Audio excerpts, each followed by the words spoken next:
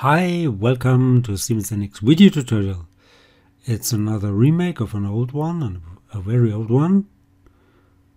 And it's another basic exercise. I've made a drawing, so let's take a look at it. So here it is. And if you want, you can make a screenshot and then follow this exercise step by step, if you want. So, let's have fun with Siemens NX.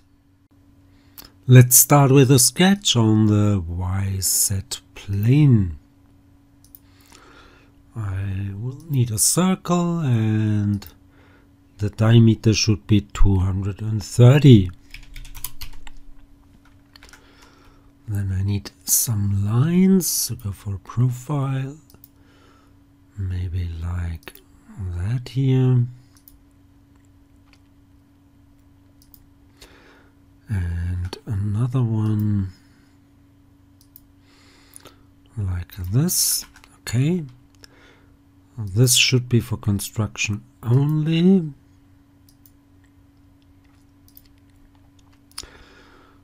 These should be parallel. And that one as well and there should be an angle. And this should be 50 degrees. Same on the other side.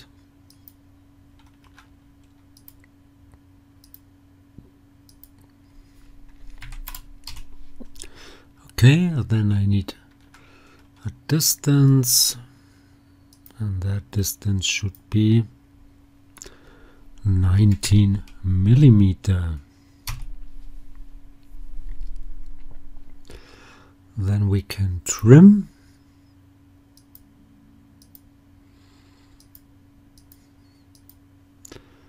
Okay. And finish that sketch. Now let's make an extrude. Make it symmetric. Make it 40 millimeter and I want to go for an offset. Single-sided or two-sided. Go for two-sided. It's easier to set up. And if we go for minus 15 that should do the trick. Yes. And confirm. Great. Now another sketch on the same plane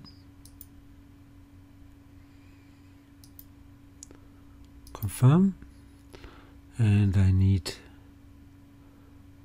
a circle right there and the diameter should be 40 finish that sketch. Make another extrude. Make it again symmetric. But right now it should be 60 millimeter and with that sketch curve is selected not really. It is selected. That's okay that's okay and I want to unite it. So go for unite. And confirm. Great. Then another sketch again on the same plane and that will be a line which should start here and then go up there. And the length might be 110 that should do.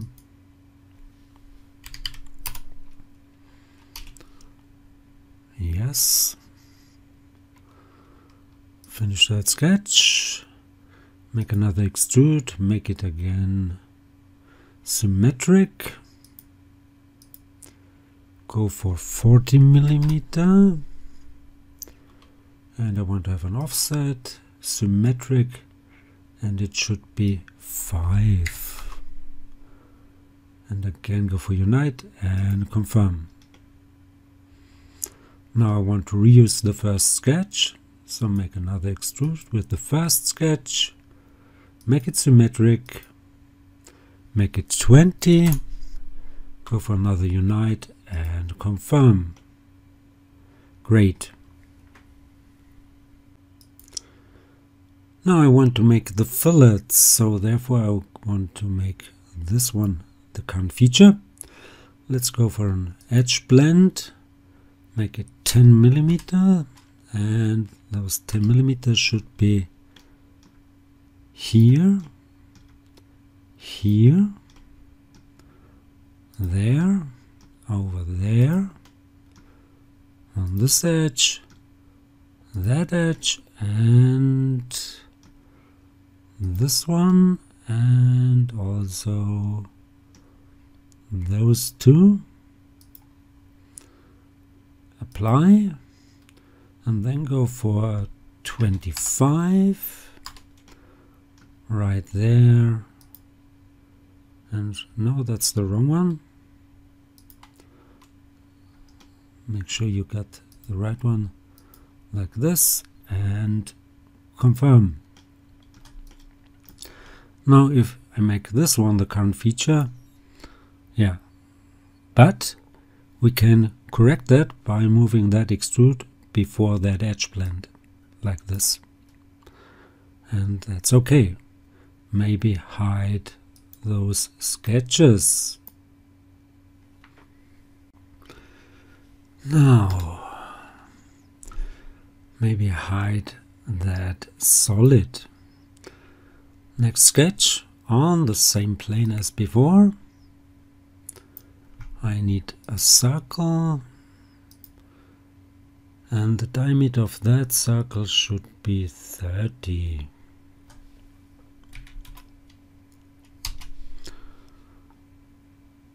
Okay, this should be for construction only. Okay. I need lines.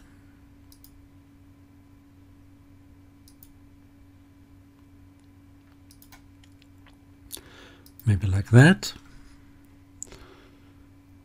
And that angle should be 25 and it should be symmetric. So maybe first trim it. Make it for construction only. and align that endpoint and this point here vertical not possible why let's take a look. Should be possible. So I want this endpoint here and that endpoint. Yeah that's okay. Just confirm. And now go for an angle and that angle should be 25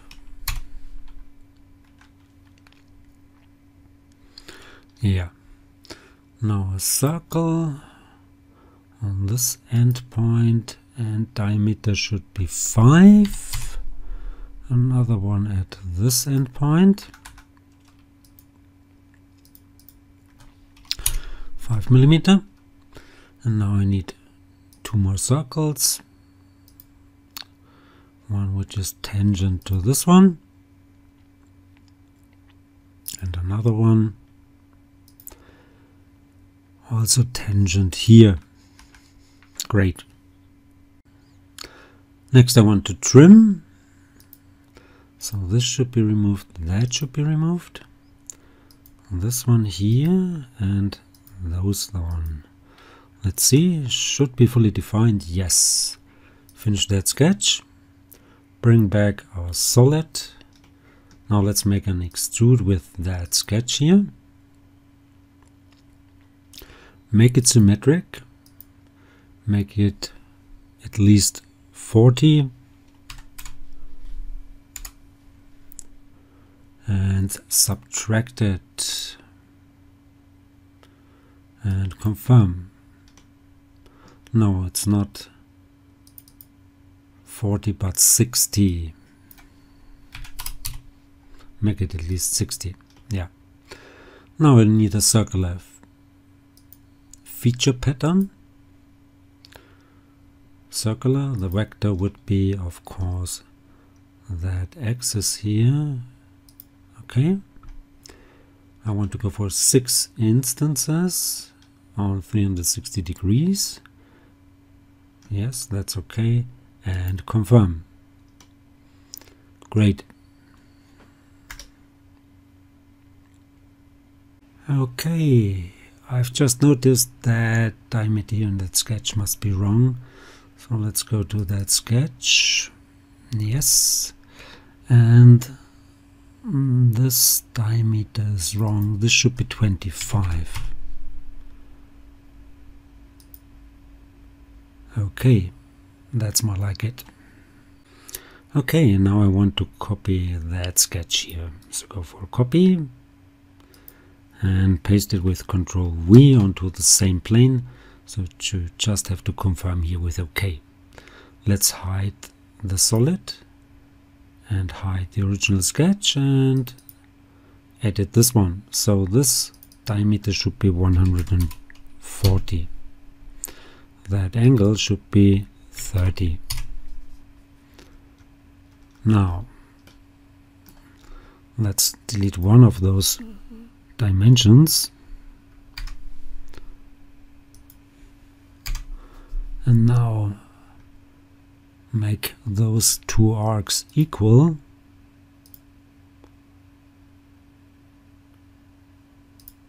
Like that here. Now so this one should control both of them and this should be 20 nice I will need another circle here which is 20 in diameter. Those two arcs should be tangent. Let's see. Okay, and no, I don't need another circle like this and go for tangency. Yeah. Okay, I want to add a construction line from here over there should be for construction only. And I want to trim it like this. Then I need two circles. And diameter should be 10 millimeter. Another one over here. Make sure it's 10 yes it is. And then use tangency constraints from here to that arc. Same over here. Not like this. Let's undo that. Maybe move it a little bit closer and this one and that one should be tangent. And this one and that arc here. Make sure you click on that arc now I can trim. This could be removed. That could be removed. This, that. Because I've made those construction lines, you have to make sure you trim all the necessary small curves here as well.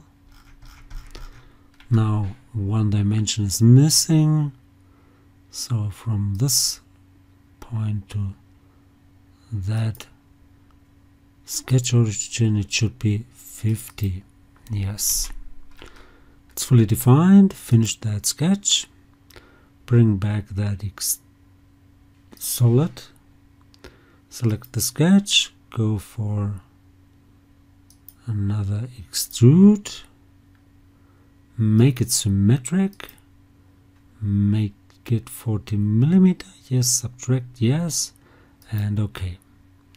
Then I want to make a pattern feature.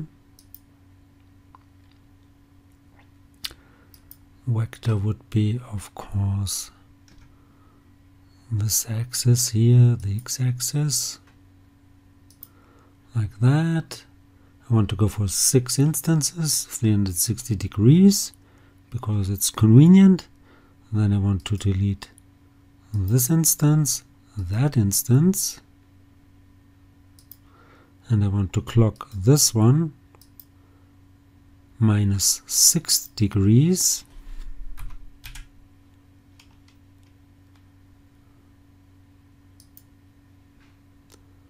and that one over here 6 degrees. Confirm confirm. Great. Last feature I need is a hole. So go for a hole make it 12 millimeter yes. Normal to face to the body yes. And put it right on this arc center point. And confirm. And I'm done. So hope it was helpful hope you liked it if you did like it please give it a like or leave a comment if you want to see more please give it a like or leave a comment please subscribe to my youtube channel that would really help you could follow me also on GrabCAD, Facebook, Twitter, Instagram and many more. Thanks for watching. See you to the next one. Bye bye.